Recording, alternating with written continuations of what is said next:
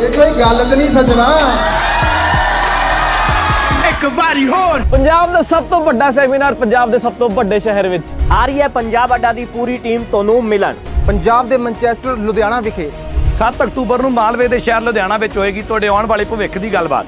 ਜੁੜਨਾ ਨਾ ਭੁੱਲਿਓ ਕੈਰੀਅਰ ਗਾਈਡੈਂਸ ਦੇ ਸੈਮੀਨਾਰ ਦੇ ਵਿੱਚ। 7 ਅਕਤੂਬਰ ਦਿਨ ਸ਼ਨੀਵਾਰ। ਅਸੀਂ ਵੀ ਆਵਾਂਗੇ ਤੁਸੀਂ ਵੀ ਆਇਓ। ਸਤਿ ਸ਼੍ਰੀ ਅਕਾਲ।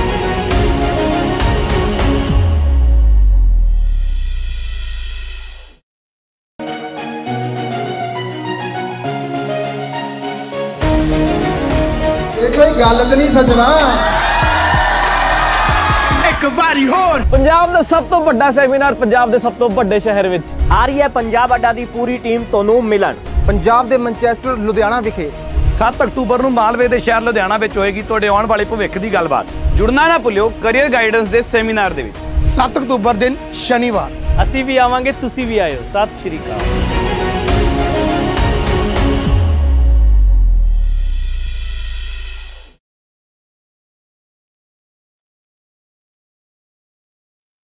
ਹਾਂਜੀ, ਸਤਿ ਸ਼੍ਰੀ ਅਕਾਲ ਸਾਰਿਆਂ ਨੂੰ, ਮੈਂ ਫਤਿਹ ਸਿੰਘ, ਸਵਾਗਤ ਕਰਦਾ ਤੁਹਾਡਾ ਪੰਜਾਬ ਅੱਡਾ 24/7 ਦੇ YouTube ਚੈਨਲ ਤੇ।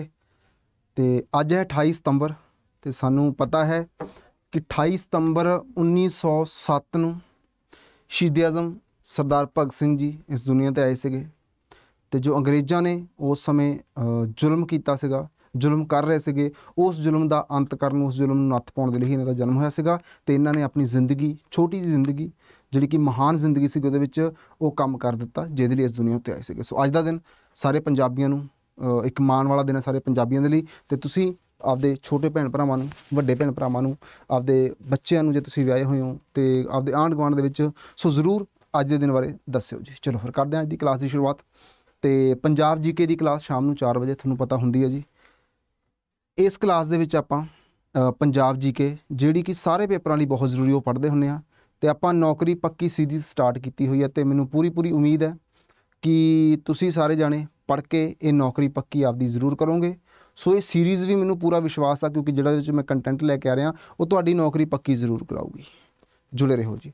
ਸੋ ਹੋ ਚੁੱਕੀ ਅ, 16 ਕਲਾਸਾਂ ਹੋ ਚੁੱਕੀਆਂ 17ਵੀਂ ਕਲਾਸਾਂ ਸਾਡੇ ਕੋਲੇ ਤੇ ਜੇ ਤੁਸੀਂ ਚੈਨਲ ਤੇ ਪਹਿਲੀ ਵਾਰ ਵਿਜ਼ਿਟ ਕਰ ਰਹੇ ਹੋ ਤੇ ਚੈਨਲ ਨੂੰ ਸਬਸਕ੍ਰਾਈਬ ਜ਼ਰੂਰ ਕਰ ਲਿਓ। ਲੋ ਜੀ ਆ ਗਿਆ ਆਪਣੇ ਕੋਲੇ ਕੁਐਸਚਨ ਹੁਣ ਇਹ ਕੁਐਸਚਨ ਪਿਛਲੀ ਕਲਾਸ ਦਾ ਲਾਸਟ ਕੁਐਸਚਨ ਇੱਕ ਵਾਰ ਦੱਸ ਦਿਓ ਆਡੀਓ ਵੀਡੀਓ ਓਕੇ ਇੱਕ ਵਾਰ ਥੰਬਸ ਅਪ ਦਾ ਸਾਈਨ ਕਰ ਦਿਓ ਜੀ।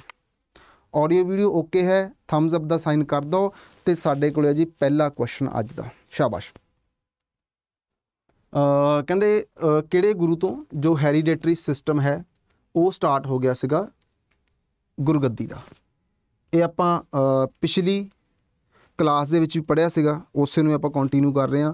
ਸੋ ਗੁਰੂ ਰਾਮਦਾਸ ਜੀ ਗੁਰੂ ਅਰਜਨ ਦੇਵ ਜੀ ਗੁਰੂ ਅਮਰਦਾਸ ਜੀ ਜਾਂ ਫਿਰ ਗੁਰੂ ਤੇਗ ਬਹਾਦਰ ਜੀ ਕਿਹੜਾ ਇਹਨਾਂ ਵਿੱਚੋਂ ਸਹੀ ਆਨਸਰ ਇੱਕ ਵਾਰ ਯਾਰ ਸ਼ੇਅਰ ਜ਼ਰੂਰ ਕਰ ਦਿਓ ਜਿਹਨਾਂ ਨੇ ਹਜੇ ਤੱਕ ਕਲਾਸ ਨੂੰ ਸ਼ੇਅਰ ਨਹੀਂ ਕੀਤਾ ਪਲੀਜ਼ ਸ਼ੇਅਰ ਜ਼ਰੂਰ ਕਰ ਦਿਓ। ਤੇ ਆਨਸਰ ਹੈ ਸਾਡੇ ਕੋਲੇ ਆਪਸ਼ਨ ਨੰਬਰ 1 ਗੁਰੂ ਰਾਮਦਾਸ ਜੀ ਆਪਾਂ ਪਿਛਲੀ ਕਲਾਸ 'ਚ ਕਰ ਲਿਆ ਸੀਗਾ। ਲਓ ਜੀ ਅਗਲਾ ਕੁਐਸਚਨ ਸਾਡੇ ਕੋਲ ਆ ਚੁੱਕਾ ਜੀ। ਇਹ ਕੁਐਸਚਨ ਕੀ ਕਹਿ ਰਿਹਾ ਜੀ? ਕਹਿੰਦੇ ਜਿਹੜੇ ਅ, ਸਿੱਖੀਜ਼ਮ ਆ ਜਾਂ ਕਹਿੰਦੇ ਸਿੱਖ ਨੇ ਉਹ ਕਿੰਨੇ ਪਰਸੈਂਟ ਨੇ ਪੰਜਾਬ ਦੇ ਵਿੱਚ? ਪੰਜਾਬ ਜਿਹੜਾ ਸਿੱਖ ਧਰਮ ਆ ਪੰਜਾਬ ਵਿੱਚ ਸਭ ਤੋਂ ਵੱਧ ਹੈ, ਉਹ ਮਤਲਬ ਮੰਨਿਆ ਜਾਂਦਾ ਹੈ ਤੇ ਕਿੰਨੇ ਪਰਸੈਂਟ ਹੈ?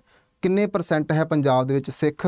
ਕਹਿੰਦੇ 57.69% ਜਾਂ ਫਿਰ 60.05% ਜਾਂ ਫਿਰ 75% ਤੇ ਜਾਂ ਫਿਰ ਇਹਨਾਂ ਵਿੱਚੋਂ ਕੋਈ ਵੀ ਨਹੀਂ। ਸਾਨੂੰ ਇੱਕ ਗੱਲ ਤਾਂ ਪਤਾ ਆ ਕਿ ਪੰਜਾਬ ਦੇ ਵਿੱਚ ਸਿੱਖ ਹੈਗੇ ਆ ਮੈਜੋਰਿਟੀ ਦੇ ਵਿੱਚ ਆਪਾਂ ਇਹ ਕਹਿ ਦਈਏ ਵੀ ਪੂਰੀ ਦੁਨੀਆ ਦੇ ਵਿੱਚ ਇਸ ਟਾਈਮ ਦੇ ਉੱਤੇ ਪੰਜਾਬ ਹੀ ਆ, ਜਿੱਥੇ ਜਿਹੜੇ ਸਿੱਖ ਸਾਨੂੰ ਮੈਜੋਰਿਟੀ ਵਿੱਚ ਦੇਖਣ ਨੂੰ ਮਿਲਦੇ ਆ। ਸੋ ਇਹ ਪੋਪੂਲੇਸ਼ਨ ਹੈਗੀ ਆ ਪੰਜਾਬ ਦੀ ਟੋਟਲ ਪੋਪੂਲੇਸ਼ਨ ਦਾ 57.69% ਜੇ ਮੈਂ ਤੁਹਾਨੂੰ ਪੁੱਛਾਂ ਵੀ 2011 ਦੇ ਸੈਂਸਸ ਦੇ ਅਕੋਰਡਿੰਗ ਕਿਹੜੇ? 2011 ਦੇ। ਸੈਂਸਸ ਦੇ ਅਕੋਰਡਿੰਗ ਪੰਜਾਬ ਦੀ ਪੋਪੂਲੇਸ਼ਨ ਕਿੰਨੀ ਹੈ? ਤੁਸੀਂ ਕਹੋਗੇ ਸਰ 2.27 ਕਰੋੜ। ਯਾਦ ਰੱਖਿਓ ਜੀ 2.77 ਕਰੋੜ ਪੋਪੂਲੇਸ਼ਨ ਹੈ 2011 ਦੇ ਸੈਂਸਸ ਦੇ ਅਕੋਰਡਿੰਗ। ਹੁਣ ਜਲਦੀ ਹੀ ਨਵਾਂ ਸੈਂਸਸ ਆਊਗਾ ਤੇ ਸਾਨੂੰ ਪਤਾ ਲੱਗ ਜਾਊਗਾ ਕਿ ਨਵੇਂ ਦੇ ਅਕੋਰਡਿੰਗ ਕੀ ਹੈ ਪੋਪੂਲੇਸ਼ਨ ਸਾਡੇ ਪੰਜਾਬ ਦੀ। ਲੋ ਸਰ, ਅਗਲੇ ਕੁਐਸਚਨ ਤੇ ਚੱਲਦੇ ਹਾਂ ਜੀ। ਅਗਲਾ, ਹਾਂ ਉਸ ਤੋਂ ਪਹਿਲਾਂ ਲੇਕਿਨ ਦੇਖੋ, ਜੇ ਆਪਾਂ ਗੱਲ ਕਰੀਏ ਪੰਜਾਬ ਦੇ ਵਿੱਚ, ਤਾਂ 57.69% ਸਿੱਖਾਂ ਦੀ ਪੋਪੂਲੇਸ਼ਨ ਆ। ਜੇ ਆਪਾਂ ਗੱਲ ਕਰੀਏ ਹਿੰਦੂ ਧਰਮ ਦੀ, ਤਾਂ 38.49% ਹਿੰਦੂ ਧਰਮ ਦੇ ਲੋਕ ਰਹਿੰਦੇ ਨੇ ਪੰਜਾਬ ਦੇ ਵਿੱਚ। ਮੁਸਲਿਮ ਧਰਮ ਦੀ ਗੱਲ ਕਰੀਏ, ਤਾਂ 1.93% ਲੋਕ ਜਿਹੜੇ ਮੁਸਲਿਮ ਧਰਮ ਦੇ ਬਿਲੋਂਗ ਕਰਦੇ ਨੇ ਪੰਜਾਬ ਦੇ ਵਿੱਚ। ਤੇ ਕ੍ਰਿਸਚਨ ਦੀ ਗੱਲ ਕਰੀਏ 1.26% ਹੈ। ਬਾਕੀ ਜੋ ਇਸ ਵਾਰ ਨਵਾਂ ਡਾਟਾ ਆਊਗਾ, ਉਹ ਦੇਖੋ ਕੀ ਕਹਿੰਦਾ, ਹੈ ਨਾ? ਨਵੇਂ ਡਾਟੇ ਤੋਂ ਪਤਾ ਲੱਗੂਗਾ ਉਹ- ਕੀ ਕਹਿੰਦਾ। ਲਓ ਜੀ, ਅਗਲਾ ਕੁਐਸਚਨ ਪੋਪੂਲੇਸ਼ਨ ਵਾਈਜ਼ ਜੇ ਗੱਲ ਕਰੀਏ, ਤਾਂ ਪੰਜਾਬ 29 ਸਟੇਟਾਂ, ਕਿਉਂਕਿ ਪਹਿਲਾਂ 29 ਸੀਗੀਆਂ ਨਾ ਜਦੋਂ ਆਪਾਂ ਦੇਖਿਆ ਸੀਗਾ ਲੇਕਿਨ ਹੁਣ 28 ਨੇ ਹੁਣ 28 ਨੇ ਸਾਡੇ ਕੋਲ। ਅ, 28 ਸਟੇਟਾਂ ਵਿੱਚੋਂ ਕਿੰਨਵੇਂ ਨੰਬਰ ਤੇ ਆ? ਜੇ ਅੱਜ ਦੀ ਗੱਲ ਕਰੀਏ ਅੱਜ ਸਾਡੇ ਕੋਲੇ ਪੰਜਾਬ ਇੰਡੀਆ ਦੇ ਵਿੱਚ 28 ਸਟੇਟਾਂ ਨੇ। ਮੈਨੂੰ ਇਹ ਦੱਸੋ ਵੀ ਇੰਡੀਆ ਦੇ ਵਿੱਚ ਯੂਨੀਅਨ ਟੈਰੀਟਰੀਜ਼ ਕਿੰਨੀਆਂ ਨੇ ਯੂਟੀਜ਼ ਸਟੇਟਾਂ ਤਾਂ 28 ਨੇ ਐਂਡ ਯੂਟੀਜ਼ ਕਿੰਨੀਆਂ ਨੇ? ਤੇ ਇੰਡੀਆ ਦੇ ਵਿੱਚ ਭਾਈ 28 ਸਟੇਟਾਂ ਨੇ ਤੇ 8 ਯੂਨੀਅਨ ਟੈਰੀਟਰੀਜ਼ ਨੇ। ਤੇ ਕਿੰਨਵੇਂ ਨੰਬਰ ਤੇ ਪੰਜਾਬ? 15ਵੇਂ ਨੰਬਰ ਤੇ।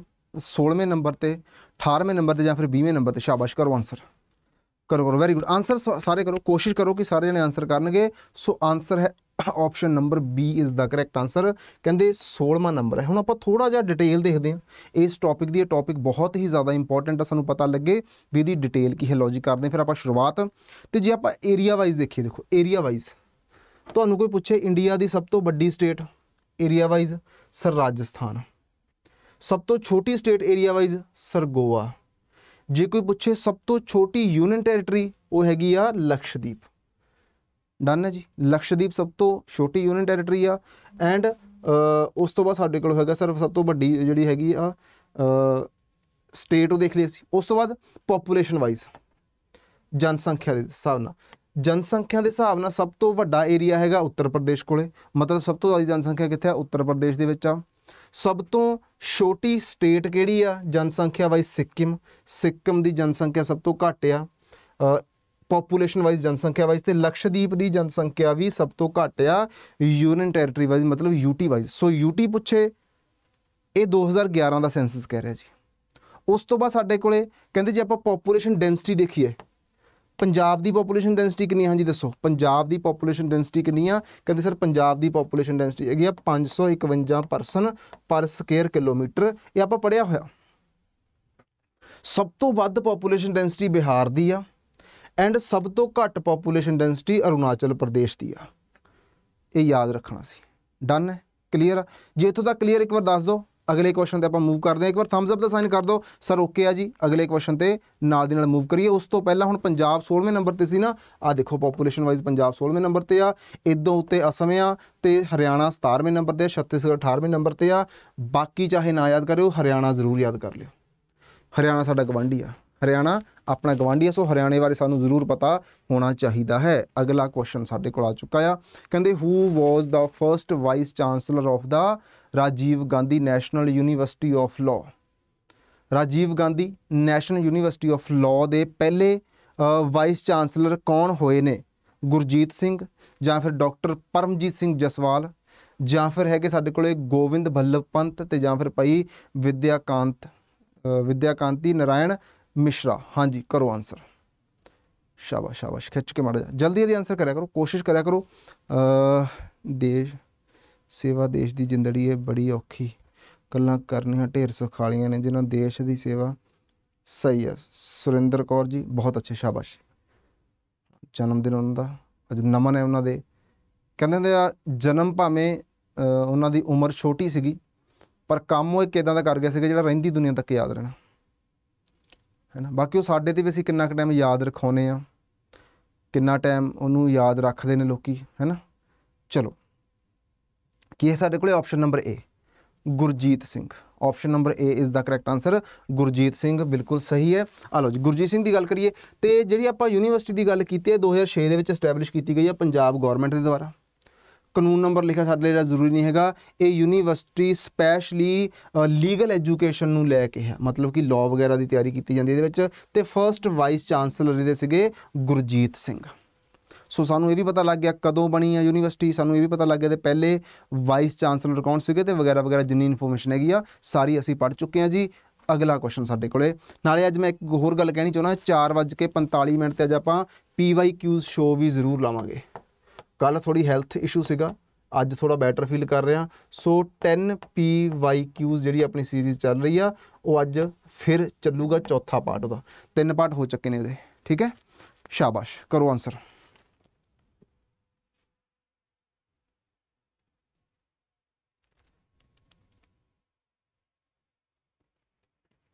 ਓਕੇ ਜੀ।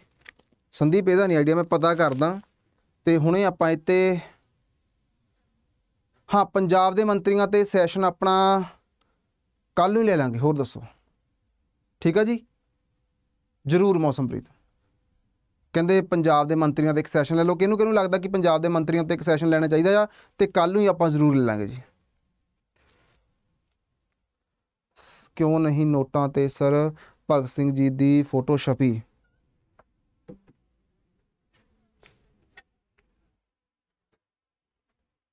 ठीक है अब कैमरा हिल गया टीम को बुलाना हिल गया कैमरा उनको भेज देना हम्म वो देखेंगे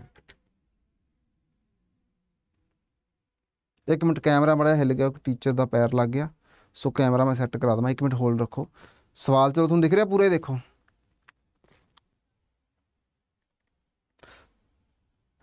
ਕਰੋ ਜੀ ਕੁਐਸਚਨ ਆਹ ਕੁਐਸਚਨ ਬਹੁਤ ਹੀ ਜ਼ਿਆਦਾ ਮੈਂ ਕਹ ਦੂੰਗਾ ਸੌਖਾ ਵੀ ਆ ਐਂਡ ਇੰਪੋਰਟੈਂਟ ਵੀ ਆ। ਪੜੋ ਮੈਂ ਕੈਮਰਾ ਹੁਣੇ ਸੈੱਟ ਕਰਾਉਣਾ। ਜਸਟ 1 ਮਿੰਟ ਠੀਕ ਹੈ? ਚਲੋ ਜੀ, ਦੇਖੋ। ਕਹਿੰਦੇ ਸਾਡੇ ਕੋਲ ਕੀ ਆ? ਹਾਂ, ਜ਼ਰੂਰ ਜ਼ਰੂਰ। ਮੰਤਰੀ ਮੰਡਲ ਦੇ ਉੱਤੇ ਕੱਲ ਨੂੰ ਵੀਡੀਓ ਲੈ ਕੇ ਆਉਂਗਾ ਮੈਂ। ਤੁਹਾਡੀ ਹਰੇ ਬਸ ਤੁਸੀਂ ਪੜਨ ਵਾਲੇ ਬਣੋ। ਸ਼ੁਰੂ ਪੜਾਉਣ ਨੂੰ ਆਪਾਂ ਬੈਠੇ ਹਾਂ। ਯਾਰ ਕੈਮਰਾ ਹਿਲ ਗਿਆ ਇਧਰ ਆਓ ਦੇਖੋ ਪਹਿਲੇ। वो टीचर आई उनका पैर लग गया और उससे फ्रेम हिलेगा देखो एक बार ਇਹਦਾ ਆਨਸਰ ਕਰੋ ਦੇਖੋ ਡਿਵੀਜ਼ਨ ਕਹਿੰਦੇ ਜਲੰਧਰ ਫਿਰੋਜ਼ਪੁਰ ਫਰੀਦਕੋਟ ਤੇ ਸਾਡੇ ਕੋਲ ਹੈਗਾ ਥੋੜਾ ਸਾ ਹੋਰ ਦੇਖੋ ਹਾਂ okay done bus okay done thank you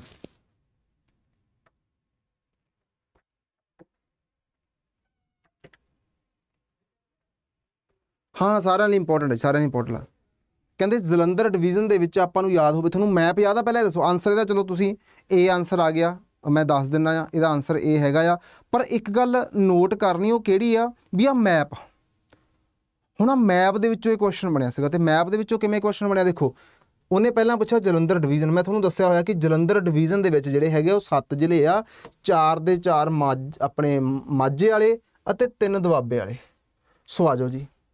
ਤੁਸੀਂ ਫੈਸੇ ਹੀ ਪਤਾ ਲੱਗਦਾ ਵੀ ਇਹਦੇ ਵਿੱਚ ਕਿੰਨੇ ਜ਼ਿਲ੍ਹੇ ਦਿੱਤੇ ਆ? ਸਰ 1 2 3 4 ਸੌਰੀ ਆਹ ਜਿਆਦੇ। ਜਲੰਧਰ ਦੇ ਵਿੱਚ ਸਾਨੂੰ ਪਠਾਨਕੋਟ ਵੀ ਦੇਖਣ ਨੂੰ ਮਿਲਦਾ, ਤਰਨਤਾਰਨ ਸਾਹਿਬ ਵੀ ਤੇ ਅੰਮ੍ਰਿਤਸਰ ਸਾਹਿਬ ਜੀ, ਮਤਲਬ ਏ ਦਾ ਕਿਹੜਾ ਹੋ ਗਿਆ? ਸਰ, ਦੂਜਾ ਆ ਗਿਆ ਜੀ। ਹੁਣ ਜਿੱਥੇ ਏ ਦਾ ਦੂਜਾ ਆਨਸਰ ਆ, ਉਹ ਸਾਡਾ ਆਨਸਰ ਹੋਊਗਾ। ਏ ਦਾ ਦੂਜਾ, ਇੱਕ ਤਾਂ ਏ ਦੇ ਵਿੱਚ ਆ, ਇੱਕ ਸੀ ਦੇ ਵਿੱਚ ਆ, ਮਤਲਬ ਨਾ ਤਾਂ ਡੀ ਆਨਸਰ ਹੋਊਗਾ ਤੇ ਨਾ ਹੀ ਬੀ ਆਨਸਰ ਹੋਊਗਾ। ਇਸ ਤਰੀਕੇ ਨਾਲ ਆਨਸਰ ਕਰਨੇ ਆਪਾਂ ਇਹਦੇ, ਠੀਕ ਹੈ ਜੀ? ਉਸ ਤੋਂ ਬਾਅਦ ਫਰੀਦਕੋਟ ਦੀ ਗੱਲ ਕਰੀਏ, ਸਰ ਫਰੀਦਕੋਟ ਵਾਲਾ ਸਾਨੂੰ ਪਤਾ ਬਠਿੰਡਾ ਤੇ ਮਾਨਸਾ, ਫਰੀਦਕੋਟ ਦਾ ਬਠਿੰਡਾ ਤੇ ਮਾਨਸਾ। ਤਾਂ ਸੀ ਦਾ ਕੀ ਆ ਗਿਆ? ਪਹਿਲਾ ਆ ਗਿਆ। ਸੋ ਸੀ ਦਾ ਪਹਿਲਾ ਸਾਡੇ ਕੋਲ ਕਿੱਥੇ ਆ? ਆਪਸ਼ਨ ਨੰਬਰ ਏ ਦੇ ਵਿੱਚ ਹੀ ਹੈ। ਸੋ ਮੈਪ ਬਹੁਤ ਜ਼ਰੂਰੀ ਹੈ। ਆ ਮੈਪ ਤੁਹਾਨੂੰ ਪੀਡੀਐਫ ਦੇ ਨਾਲ ਹੀ ਮਿਲ ਜੂਗਾ।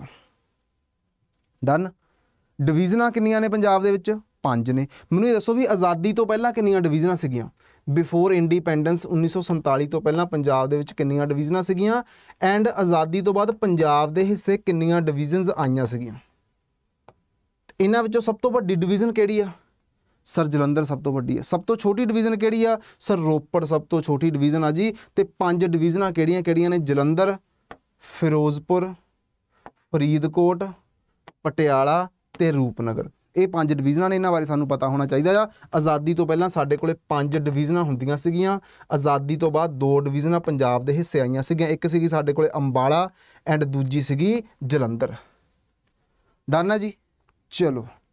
ਪੀਡੀਐਫ ਫਤਿਹ ਸਰ, ਪੰਜਾਬ ਅੱਡਾ 24/7 ਟੈਲੀਗ੍ਰਾਮ ਚੈਨਲ ਨੂੰ ਜੁਆਇਨ ਕਰ ਲਿਓ ਜੀ। ਚਲੋ।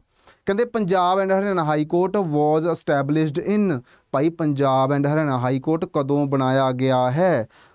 ਕਰੋ ਜੀ ਆਨਸਰ ਹੁਣ ਵੈਸੇ ਨਾ ਇਹਦਾ ਆਨਸਰ ਥੋੜਾ ਜਿਹਾ ਜੇ ਮੈਂ ਸੋਚਦਾ ਤਾਂ ਇਹਨੂੰ ਅਲੱਗ ਤਰੀਕੇ ਨਾਲ ਕਰਾਉਂਦਾ, ਪਰ ਪੰਜਾਬ ਦੇ ਪਰਸਪੈਕਟਿਵ ਨਾਲ, ਇਹਦੇ ਨਾਂ ਦੇ ਪਰਸਪੈਕਟਿਵ ਨਾਲ ਇਹਦਾ ਆਨਸਰ ਜਿਹੜਾ ਉਹ ਤੁਸੀਂ ਮੈਨੂੰ ਦੱਸਣਾ ਹੈ ਵੀ ਕੀ ਆਊਗਾ। ਸ਼ਾਬਾਸ਼। ਕਰੋ ਜੀ, ਕਰੋ। ਵੈਸੇ ਤਾਂ ਜੇ ਆਪਾਂ ਪੰਜ- ਪਹਿਲਾਂ ਕੀ ਹਰਿਆਣਾ ਕਦੋਂ ਬਣਿਆ? ਹਰਿਆਣਾ ਸਰ 1966 ਚ ਬਣਿਆ ਜੀ। ਇਦੋਂ ਪਹਿਲਾਂ ਹਰਿਆਣਾ ਸੀਗਾ? ਨਾ ਜੀ, ਬਿਲਕੁਲ ਵੀ ਹੈ ਨਹੀਂ ਸੀਗਾ। ਇਦੋਂ ਪਹਿਲਾਂ ਹਰਿਆਣਾ ਬਿਲਕੁਲ ਵੀ ਹੈ ਨਹੀਂ ਸੀਗਾ no doubt so option number C is the correct answer ਵੈਸੇ ਜੇ ਗੱਲ ਕਰੀਏ ਪੰਜਾਬ ਹਾਈ ਕੋਰਟ ਹਾਲਾਂਕਿ ਇੱਥੇ ਨਾ ਬਣਿਆ ਨਹੀਂ ਸੀ ਆਪਾਂ ਇਹਨੂੰ ਕਾਊਂਟ ਕਰਾਂਗੇ। ਇਹਦਾ ਨਾਮ ਬਦਲਿਆ ਗਿਆ ਸੀਗਾ। ਪਹਿਲਾਂ ਹੁੰਦਾ ਸੀਗਾ ਇਹ ਪੰਜਾਬ ਹਾਈ ਕੋਰਟ। ਬਣਿਆ ਤਾਂ ਇਹ ਇੱਕ ਬੁੱਕ ਆ ਲక్ష్ਮੀਕਾਂਤ ਉਹਦੇ ਵਿੱਚ 1875 ਮੈਂਸ਼ਨ ਕੀਤਾ ਹੋਇਆ ਵੀ ਉਦੋਂ ਬਣਿਆ ਸੀਗਾ। ਸੋ ਉਸ ਤੋਂ ਬਾਅਦ ਫਿਰ ਪਹਿਲਾਂ ਇਹਦਾ ਲਾਹੌਰ ਹੁੰਦੀ ਸੀਗੀ ਸੀਟ ਫਿਰ ਸ਼ਿਮਲੇ ਸ਼ਿਫਟ ਕੀਤੀ ਗਈ। ਅ, 1955 ਵਿੱਚ ਸ਼ਿਮਲੇ ਤੋਂ ਚੰਡੀਗੜ੍ਹ ਆਉਂਦੀ ਆ ਸੀਟ। ਤੇ ਉਦੋਂ ਬਾਅਦ ਫਿਰ ਚੰਡੀਗੜ੍ਹ ਹੀ ਜਦੋਂ ਹਰਿਆਣਾ ਬਣ ਗਿਆ ਤੇ ਫਿਰ ਇਹਨੂੰ ਦੋ ਨਾਮਾਂ ਨਾਲ ਜਾਣਨਾ ਸ਼ੁਰੂ ਹੋ ਗਿਆ, Punjab and Haryana high court so ਤਾਂ ਕਰਕੇ ਮੈਂ ਕਹਿ ਰਿਹਾ ਐਂਡ ਇਸ ਸਮੇਂ ਉੱਤੇ Punjab and Haryana high court ਜਿਹੜਾ ਹੈਗਾ, ਇੱਕ ਵਾਰ ਬਾਈ ਤਸਵੀਰ ਵੀ ਦੇਖ ਲਈਏ, ਇਹ ਕਿਹਦੀ ਕਿਹਦੀ ਸੇਵਾ ਕਰ ਰਿਹਾ ਜਾਂ ਪਏ ਕਿਹਦੀ ਵੀ ਇੱਥੇ ਕਿਹੜੇ ਕਿਹੜੇ ਲੋਕ ਆਪਣਾ ਕੇਸ ਦਰਜ ਕਰਾ ਸਕਦੇ ਨੇ, ਇੱਕ ਤਾਂ ਹਰਿਆਣੇ ਦੇ ਲੋਕ, ਇੱਕ ਪੰਜਾਬ ਦੇ ਲੋਕ ਤੇ ਇੱਕ ਚੰਡੀਗੜ੍ਹ ਦੇ ਲੋਕ। ਤਿੰਨ ਹੈਗੇ ਨੇ, ਇੱਕ ਯੂਨੀਅਨ ਟੈਰੀਟਰੀ ਤੇ ਦੋ ਸਟੇਟਾਂ। ਇਹ ਡਿਟੇਲਿੰਗ ਸਾਨੂੰ ਪਤਾ ਹੋਣੀ ਚਾਹੀਦੀ ਹੈ। ਹੁਣ ਅਗਲੇ ਚ, ਅ, ਜ਼ਰੂਰ ਜੀ ਜ਼ਰੂਰ। ਗੁਰਜੀਤ, ਅੱਗੇ ਜ਼ਰੂਰ ਲਵਾਂਗੇ ਆਪਾਂ। ਅਗਲੇ ਕੁਐਸਚਨ ਤੇ ਚੱਲਦੇ ਹਾਂ। Name of name the political and the religious leader of the Punjab. ਕਹਿੰਦੇ ਨਾਮ ਦੱਸੋ ਉਸ ਧਾਰਮਿਕ ਅਤੇ ਪੋਲੀਟੀਕਲ ਲੀਡਰ ਦਾ, ਜਿਹੜਾ ਬੰਦਾ ਇਹ ਡਿਮਾਂਡ ਕਰਦਾ ਸੀਗਾ ਕਿ ਪੰਜਾਬ ਨੂੰ ਇੱਕ ਬਹੁ ਗਿਣਤੀ ਜਿੱਥੇ ਮੈਜੋਰਿਟੀ ਵਿੱਚ ਸਿੱਖ ਹੋਣ, ਉਸ ਸਟੇਟ ਉਹ ਸਟੇਟ ਦਿੱਤੀ ਜਾਵੇ, ਮਤਲਬ ਡਿਮਾਂਡ ਕੀਤੀ ਗਈ ਸੀਗੀ। ਪੰਜਾਬੀ ਸੂਬਾ ਦੀ ਸਿੰਪਲ ਇਹ ਬਣਦਾ ਇਸ ਕੁਐਸਚਨ ਦਾ। ਸੋ ਦੱਸੋ ਭਾਈ ਫਿਰ, ਕੌਣ ਸੀਗਾ ਉਹ? ਓਕੇ ਜੀ, ਜਲਦੀ ਲੈ ਲਿਆ ਕਰੂੰਗਾ ਟੈਸਟ ਉਦੋਂ ਪਹਿਲਾਂ ਯਾਰ ਇੱਕ ਵਾਰ ਲਾਈਕ ਕਰ ਦਿਓ। ਦੇਖੋ, ਤੁਸੀਂ ਤੁਹਾਡੇ ਕਹਿਣ ਤੇ ਮੈਂ ਟੈਸਟ ਲੈ ਲੂੰਗਾ। ਤੁਹਾਡੇ ਕਹਿਣ ਤੇ ਮੈਂ ਕੱਲ ਨੂੰ ਮੰਤਰੀ ਮੰਡਲ ਦੇ ਉੱਤੇ ਲੈ ਕੇ ਆ ਰਿਹਾ ਹਾਂ। ਪਰ ਤੁਸੀਂ ਮੇਰੇ ਕਹਿਣ ਤੇ ਲਾਈਕ ਕਰੋ ਇੱਕ ਵਾਰ। ਉਹ ਯਾਦ ਆ ਮੈਂ ਕੀ ਕਹਿਣਾ ਹੁੰਦਾ? ਵੀ ਇਹ ਕੋਈ ਗਲਤ ਨਹੀਂ ਸੱਜਣਾ। ਚੁੱਪ ਮਸਲੇ ਦਾ ਹੱਲਤ ਨਹੀਂ ਸੱਜਣਾ। ਸਭ ਗੱਲਾਂ ਸਾਨੂੰ ਸਮਝ ਨਹੀਂ ਆਉਂਦੀਆਂ। ਦਿਮਾਗ ਹੈ, ਕੋਈ ਡਲਤ ਨਹੀਂ ਸੱਜਣਾ। ਦਿਲ ਸਾਡੇ ਵਿੱਚੋਂ ਨਿਕਲ ਵੀ ਸਕਦਾ। ਦਿਲ ਹੈ, ਕੋਈ ਦਲ ਦਲਤ ਨਹੀਂ ਸੱਜਣਾ। ਇਹ ਕੋਈ ਗਲਤ ਨਹੀਂ ਸੱਜਣਾ। ਲਾਈਕ ਕੀਤੇ ਬਿਨਾ ਪੜਨਾ ਚੁੱਪ ਚਪੀਤੇ ਬੈਠੇ ਰਹਿਣਾ। ਤੇ ਆਨਸਰ ਨਾ ਕਰਨਾ, ਇਹ ਦੋਨੇ ਗੱਲਾਂ ਮਸਲੇ ਦਾ ਹਾਲਤ ਨਹੀਂ ਸੱਜਣਾ। ਸੋ ਆਨਸਰ ਜ਼ਰੂਰ ਕਰੋ ਆਨਸਰ ਆ ਗਿਆ ਸਾਡੇ ਕੋਲੇ। ਮਾਸਟਰ ਤਾਰਾ ਸਿੰਘ ਜੀ ਆਉਣਗੇ। ਗਲਤ ਹੈ ਆਪਣਾ ਭੋਲੇਗਾ ਟਿੱਡਾ। So option number A is the correct answer ਕਾਟੋ ਕਾ ਤੋਂ B ਕਿਉਂ? ਆਪਸ਼ਨ ਨੰਬਰ A ਆਊਗਾ ਜੀ।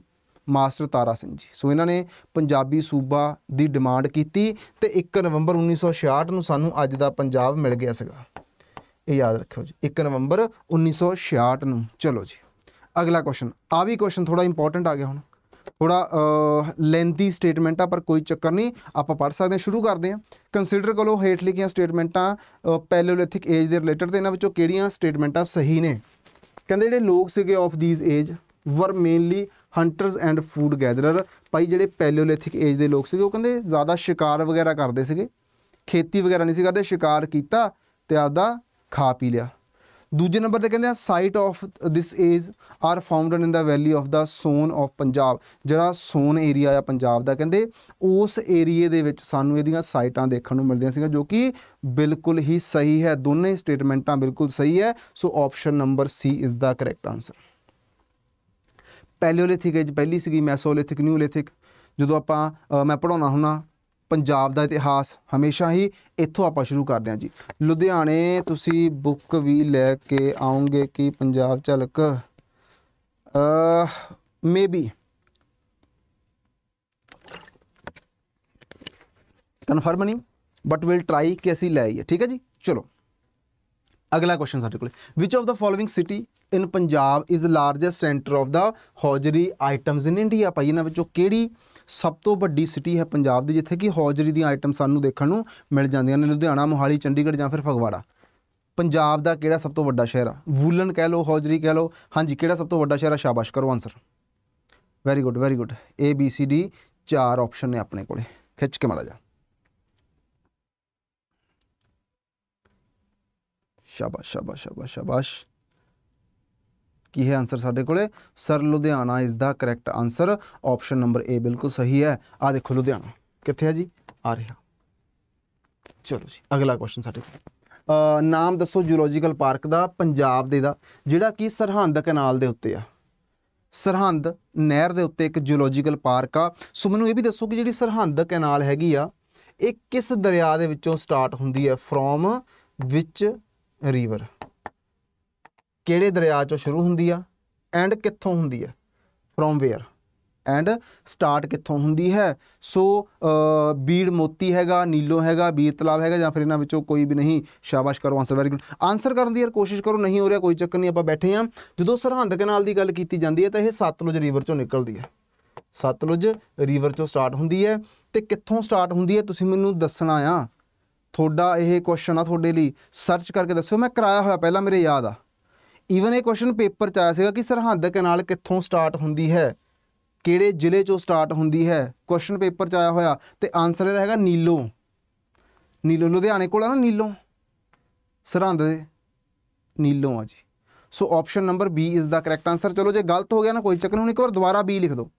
ਜਿੰਨੇ ਜਾਣੇ ਬੈਠੋ ਇੱਕ ਵਾਰ ਦੁਬਾਰਾ ਬੀ ਲਿਖ ਦਿਓ ਬੀ ਸਾਰੇ ਜਾਣੇ। Option number B B B B ਸਾਰੇ ਲਿਖੋ ਜੀ, ਠੀਕ ਹੈ? ਚਲੋ, ਅਗਲਾ ਕੁਐਸਚਨ ਸਾਡੇ ਕੋਲ ਹੈਗਾ ਆ। ਕਹਿੰਦੇ ਕ੍ਰੋਨੋਲੋਜੀਕਲੀ ਸੈੱਟ ਕਰੋ ਸਕਸੈਸਰ ਆਫ ਮਹਾਰਾਜਾ ਰਣਜੀਤ ਸਿੰਘ, ਜਿਹੜੇ ਮਹਾਰਾਜਾ ਰਣਜੀਤ ਸਿੰਘ ਜੀ ਦੇ ਸਕਸੈਸਰ ਸੀਗੇ, ਉਹਨਾਂ ਤੋਂ ਬਾਅਦ ਉਹਨਾਂ ਦੀ ਗੱਦੀ ਉੱਤੇ ਬੈਠੇ ਸੀਗੇ, ਉਹਨਾਂ ਨੂੰ ਕ੍ਰੋਨੋਲੋਜੀਕਲੀ ਲਗਾਓ। ਕ੍ਰੋਨੋਲੋਜੀਕਲੀ ਦਾ ਮਤਲਬ ਹੁੰਦਾ ਆ ਵੀ ਪਹਿਲਾਂ ਕੌਣ, ਉਦੋਂ ਬਾਅਦ ਕੌਣ ਤੇ ਉਦੋਂ ਬਾਅਦ ਕੌਣ। ਹਾਂਜੀ, ਕਰੋ ਫਿਰ ਦੱਸੋ। ਸ਼ਾਬਾਸ਼ ਸ਼ਾਬਾਸ਼। ਹਾਂ, ਨੀਲੋ ਸੀਗਾ ਵੈਰੀ ਗੁੱਡ ਹੁਣ ਕਹਿੰਦੇ ਮਹਾਰਾਜਾ ਦਲੀਪ ਸਿੰਘ, ਸਾਨੂੰ ਇੰਨੀ ਗੱਲ ਤਾਂ ਪਤਾ ਕਿ ਮਹਾਰਾਜਾ ਦਲੀਪ ਸਿੰਘ ਲਾਸਟ ਕਿੰਗ ਹੋਏ ਨੇ ਸਿੱਖ ਰਾਜ ਦੇ। ਕੱਲ ਵਾਲੀ ਵੀਡੀਓ ਕਿਹਨੇ ਕਿਹਨੇ ਦੇਖੀ ਆ ਮਹਾਰਾਜਾ ਦਲੀਪ ਸਿੰਘ ਵਾਲੀ? ਥੋੜੀ ਜਿਹੀ ਮੈਨੂੰ ਇਸ ਗੱਲ ਦੀ ਹੈਗਾ ਮਲਾਲ ਮਨ ਦੇ ਵਿੱਚ ਇੱਕ ਨਾਰਾਜ਼ਗੀ ਆ ਵੀ ਇੰਨੀ ਮਿਹਨਤ ਨਾਲ ਵੀਡੀਓ ਬਣਾਈ ਗਈ। ਉਹਦੇ ਪਿੱਛੇ ਘੱਟੋ ਘੱਟ ਪਹਿਲਾਂ ਤਾਂ ਮੈਂ 3-4 ਦਿਨ ਡਾਟਾ ਇਕੱਠਾ ਕੀਤਾ ਕਿਉਂਕਿ ਜਦੋਂ ਹਿਸਟੋਰਿਕ ਈਵੈਂਟ ਤੇ ਵੀਡੀਓ ਬਣਾਉਣੀ ਹੁੰਦੀ, ਉਹ ਏਡੀ ਛੇਤੀ ਨਹੀਂ ਬਣਦੀ। ਫਿਰ ਉਹਦੇ ਲਈ ਬਹੁਤ ਸੋਹਣੀਆਂ ਮਗਰ ਫੋਟੋਆਂ ਵਗੈਰਾ, ਇੱਕ ਸਟੋਰੀ ਬਣਾਈ ਗਈ। ਫਿਰ ਉਹਦਾ ਸਾਰਾ ਕੰਟੈਂਟ ਪੰਜਾਬੀ ਦੇ ਵਿੱਚ, ਜਿਹੜਾ ਸੀਗਾ ਅਵੇਲੇਬਲ ਕੀਤਾ ਗਿਆ। ਸੋ ਉਦੋਂ ਬਾਅਦ ਉਹ ਵੀਡੀਓ ਬਣਾਈ ਗਈ, ਫਿਰ ਉਹਨੂੰ ਰਿਕਾਰਡ ਕੀਤਾ ਗਿਆ, ਫਿਰ ਉਹਨੂੰ ਐਡਿਟ ਕੀਤਾ ਗਿਆ, ਸਾਰਾ ਕੁਝ ਸੈੱਟ ਕੀਤਾ ਗਿਆ ਤੇ ਹੁਣ ਤੱਕ ਉਹ ਵੀਡੀਓ ਸਿਰਫ ਤੇ ਸਿਰਫ 2300 ਬੱਚੇ ਨੇ ਦੇਖੀ ਆ।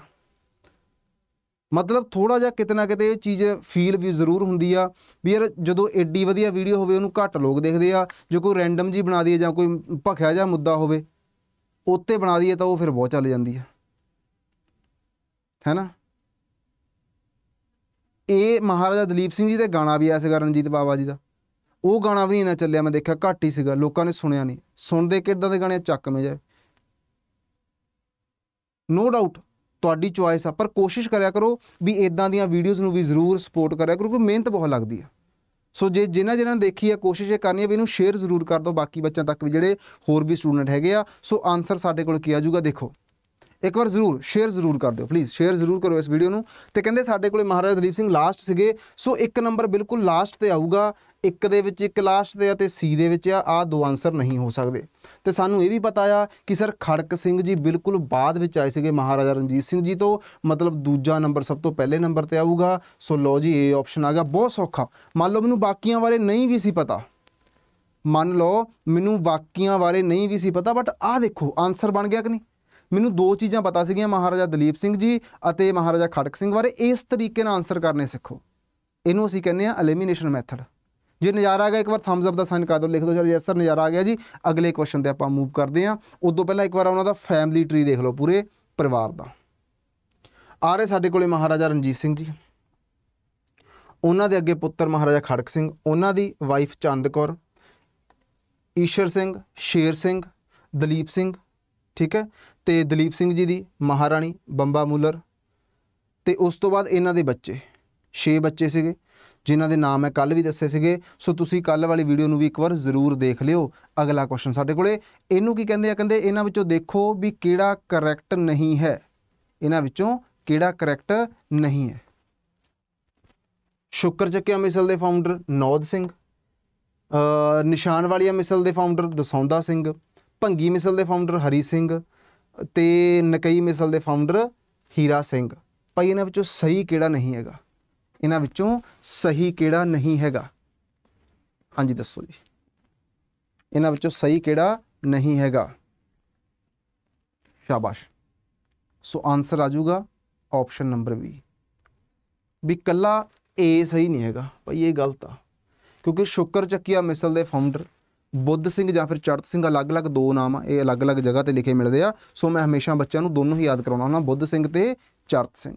ਬਾਕੀ ਸਾਰੇ ਬਿਲਕੁਲ ਸਹੀ ਨੇ। ਸੋ ਆਪਸ਼ਨ ਨੰਬਰ ਬੀ ਆਊਗਾ, ਉਹਨੇ ਸਹੀ ਨਹੀਂ ਪੁੱਛਿਆ ਨਾਟ ਕਰੈਕਟ ਬਸ ਇਹ ਧਿਆਨ ਰੱਖਣਾ ਵੀ ਉਹਨੇ ਪੁੱਛਿਆ ਕਿ ਨਾਟ ਕਰੈਕਟ ਪੁੱਛਿਆ ਨਾ ਕਿ ਕਰੈਕਟ ਪੁੱਛਿਆ ਸੀਗਾ। ਸੋ ਇਸ ਕਰਕੇ option number A is option number B ਆਊਗਾ, ਲੇਕਿਨ ਹੈਗਾ ਏ ਆ। ਠੀਕ ਹੈ? ਲੋ ਜੀ, ਅਗਲਾ ਆਨਸਰ ਆਪਣੇ ਕੋਲੇ। ਕਹਿੰਦੇ ਪੰਜਾਬੀ ਨੋਵਲ ਪੰਜਾਬੀ ਨੋਵਲ ਚਿੱਟਾ ਲਹੂ ਕਿਸ ਦੇ ਦੁਆਰਾ ਲਿਖਿਆ ਗਿਆ ਹੈ? ਕਰੋ ਆਨਸਰ ਪੰਜਾਬੀ ਨੋਵਲ ਚਿੱਟਾ ਲਹੂ ਕਿਸ ਦੇ ਦੁਆਰਾ ਲਿਖਿਆ ਗਿਆ ਹੈ? ਅਮਰਤਾ ਪ੍ਰੀਤਮ, ਸ਼ਿਵ ਕੁਮਾਰ ਬਟਾਲਵੀ ਨਾਨਕ ਸਿੰਘ ਜਾਂ ਫਿਰ ਗੁਰਬਖਸ਼ ਸਿੰਘ? ਮੈਨੂੰ ਇਹ ਦੱਸੋ ਵੀ ਜਿਹੜੇ ਅੱਜ ਆਪਾਂ ਕੁਐਸਚਨ ਕਰ ਰਹੇ ਆ ਪੰਜਾਬ ਜੀ ਦੇ ਵਿੱਚ ਡਾਊਟ ਆ ਰਿਹਾ, ਅੱਗੇ ਆਉਣ ਵਾਲੇ ਬਹੁਤ ਸਾਰੇ ਪੇਪਰ ਨੇ, ਸੋ ਜੇ ਡਾਊਟ ਆ ਰਿਹਾ ਤਾਂ ਇਹਨੂੰ ਜ਼ਰੂਰ ਕਲਾਸ ਨੂੰ ਰੈਗੂਲਰ ਲਾਇਆ ਕਰੋ। ਰੋਜ਼ ਸ਼ਾਮ ਨੂੰ 4 ਵਜੇ ਤੁਸੀਂ ਕਲਾਸ 'ਚ ਆਉਣਾ ਹੀ ਆਉਣਾ ਮਿਸ ਬਿਲਕੁਲ ਵੀ ਨਹੀਂ ਕਰਨੀ। ਹਾਂ, ਕਿਸੇ ਟਾਈਮ ਬਿਜ਼ੀ ਹੋ ਰਿਕਾਰਡਡ ਸੁਣੋ ਲੇਕਿਨ ਕਲਾਸ ਜ਼ਰੂਰ ਦੇਖਣੀ ਆ। ਬਹੁਤ ਕੁਝ ਨਵਾਂ, ਬਹੁਤ ਕੁਝ ਇੰਪੋਰਟੈਂਟ ਤੁਹਾਡੇ ਲਈ ਇਸ ਕਲਾਸ ਹੁੰਦਾ ਤੇ ਬਹੁਤ ਸਾਰੀਆਂ ਨਵੇਂ-ਨਵੇਂ ਮੈਥਡ ਪੇਪਰ ਅਟੈਂਪਟ ਕਰਦੇ, ਜਿਵੇਂ ਆਪਾਂ ਅੱਜ ਦੱਸ ਕੇ ਟਾਈਮ ਹੈ ਤੁਹਾਨੂੰ ਵੀ ਕਿਵੇਂ ਐਲੀਮੀਨੇਸ਼ਨ ਮੈਥਡ ਲਾਉਣਾ। ਜਿੰਨੀ ਵੀ ਤੁਹਾਡੇ ਕੋਲ ਇਨਫੋਰਮੇਸ਼ਨ ਹੈਗੀ ਆ ਪੇਪਰ ਦੇ ਵਿੱਚ ਐਗਜ਼ਾਮੀਨਰ ਨੇ ਇਹ ਚੈੱਕ ਕਰਨਾ ਵੀ ਤੁਹਾਨੂੰ ਇਨਫੋਰਮੇਸ਼ਨ ਯੂਜ਼ ਕਿੱਦਾਂ ਕਰਨੀ ਆਉਂਦੀ ਆ। ਸੋ ਅਸਲੀ ਐਸਪੀਰੈਂਟ ਅਸਲੀ ਸਿਲੈਕਸ਼ਨ ਉਹੀ ਲੈ ਕੇ ਜਾਊਗਾ ਜਿਹਨੂੰ ਇਨਫੋਰਮੇਸ਼ਨ ਯੂਜ਼ ਕਰਨੀ ਹੈਗੀ। ਜਿਹਦੇ ਕੋਲ ਗਿਆਨ ਹੈ, ਉਹਨੇ ਗਿਆਨ ਯੂਜ਼ ਕਰ ਲਿਆ ਤੇ ਆਪਾਂ ਦੇਖਣੇ ਆ ਨਾਨਕ ਸਿੰਘ ਜੀ ਦੀਆਂ ਹੋਰ ਕਿਹੜੀਆਂ-ਕਿਹੜੀਆਂ ਰਚਨਾਵਾਂ ਨੇ। ਉਹਨਾਂ ਦੇ ਨਾਵਲ ਲਿਖੇ ਨੇ। ਸੀਗਾ, ਮਿੱਧੇ ਹੋਏ ਫੁੱਲ ਹੋ ਗਿਆ, ਆਸਤਕ ਨਾਸਤਕ ਹੋ ਗਿਆ, ਆਦਮਖੋਰ ਹੋ ਗਿਆ ਅੱਧ ਖਿੜਿਆ ਫੁੱਲ ਹੋ ਗਿਆ, ਅੱਗ ਦੀ ਖੇੜ ਹੋ ਗਈ। ਸੋ ਇਹ ਸਾਰੇ ਇਹਨਾਂ ਦੇ ਕੀ ਨੇ? ਨਾਵਲ ਨੇ। ਇਦਾਂ ਹੀ ਸਾਡੇ ਕੋਲੇ ਇਦਾਂ ਹੀ ਸਾਡੇ ਕੋਲੇ ਕਹਿੰਦੇ ਕਹਾਣੀਆਂ ਹੋ ਗਈਆਂ। ਹੰਝੂਆਂ ਦੇ ਹਾਰ ਹੋ ਗਿਆ, ਮਿੱਧੇ ਹੋਏ ਫੁੱਲ ਵਗੈਰਾ, ਇਹ ਸਾਰੀਆਂ ਇਹਨਾਂ ਦੀਆਂ ਕਹਾਣੀਆਂ ਨੇ। ਸਭ ਕੁਝ ਤੁਹਾਨੂੰ ਮਿਲ ਜੂਗਾ। ਮੈਂ ਦੱਸਿਆ, ਮੈਂ ਪੀਡੀਐਫ ਸੈਂਡ ਕਰ ਦੂੰਗਾ, ਸੋ ਜ਼ਰੂਰ ਪੜਿਓ ਤੇ ਇਹ ਯਾਦ ਕਰ ਲਿਓ ਚੰਗੀ ਤਰ੍ਹਾਂ। ਠੀਕ ਹੈ ਜੀ ਇਹ ਯਾਦ ਕਰ ਲਿਓ ਜੀ, ਚੰਗੀ ਤਰ੍ਹਾਂ ਲਓ ਸਰ, ਅਗਲਾ ਕੁਐਸਚਨ ਆ ਗਿਆ ਥੋੜਾ ਜਿਹਾ ਲੈਂਦੀ ਲੱਗ ਰਿਹਾ, ਪਰ ਸੌਖਾ ਬਹੁਤ ਆ। ਇੱਕ ਵਾਰ ਪੜੋ ਕੁਐਸਚਨ ਨੂੰ, ਬਹੁਤ ਸੌਖਾ ਆ। ਉਹਨਾਂ ਟਾਈਮ ਜਿਨ੍ਹਾਂ ਨੇ ਹਜੇ ਤੱਕ ਕਲਾਸ ਨੂੰ ਲਾਈਕ ਨਹੀਂ ਕੀਤਾ, ਸੋ ਲਾਈਕ ਜ਼ਰੂਰ ਕਰਦਿਆ ਕਰੋ, ਐ ਨਾ ਕਰਿਆ ਕਰੋ। ਲਾਈਕ ਜ਼ਰੂਰ ਕਰੋ ਜਿਨ੍ਹਾਂ ਨੇ ਹਜੇ ਤੱਕ ਲਾਈਕ ਨਹੀਂ ਕੀਤਾ। ਹਰਵਿੰਦਰ ਜੀ, ਪੜ੍ਹਦੇ ਰਹੋਗੇ ਬੱਚੇ ਤਾਂ ਇਨਫ ਹੀ ਇਨਫ ਆ ਜੀ। ਠੀਕ ਹੈ, ਕੋਸ਼ਿਸ਼ ਤਾਂ ਇਹੀ ਆ ਪ੍ਰੈਕਟਿਸ ਮੈਂ ਇਹ ਮੰਨ ਕੇ ਚੱਲਦਾ ਵੀ ਤੁਸੀਂ ਪਹਿਲਾਂ ਥਿਊਰੀ ਵਗੈਰਾ ਪੜ੍ਹੀ ਹੋਈ ਆ। ਤੇ ਇੱਕ ਪ੍ਰੋਸੈਸ ਹੁੰਦਾ ਤਿਆਰੀ ਦਾ, ਉਸ ਪ੍ਰੋਸੈਸ ਨੂੰ ਫੋਲੋ ਜ਼ਰੂਰ ਕਰਨਾ ਚਾਹੀਦਾ ਆ। ਤੁਹਾਡੇ ਕੋਲੇ ਇੱਕ ਤਰੀਕਾ ਆ ਜਿਹਨੂੰ ਤੁਸੀਂ ਫੋਲੋ ਕਰਕੇ ਹੀ ਆਪਦੀ ਤਿਆਰੀ ਨੂੰ ਅੱਗੇ ਤੱਕ ਲਿਜਾ ਸਕਦੇ ਆ। ਸੋ, ਇਹ ਆ ਵੀ ਇਹ ਕਲਾਸ ਤੁਹਾਡੀ ਸਫਲਤਾ ਦੇ ਲਈ ਇੱਕ ਜ਼ਰੂਰੀ ਪਾਰਟ ਜ਼ਰੂਰ ਆ, ਇਹ ਮੈਂ ਮੰਨਦਾ।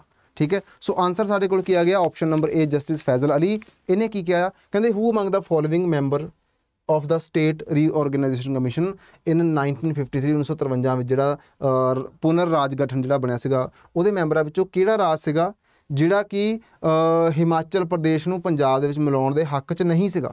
ਸੋ ਜਸਟਿਸ ਫੈਜ਼ਲ ਲਈ ਤਾਂ ਹੀ ਮੰਨੀ ਗਈ ਇਹਨਾਂ ਦੀ।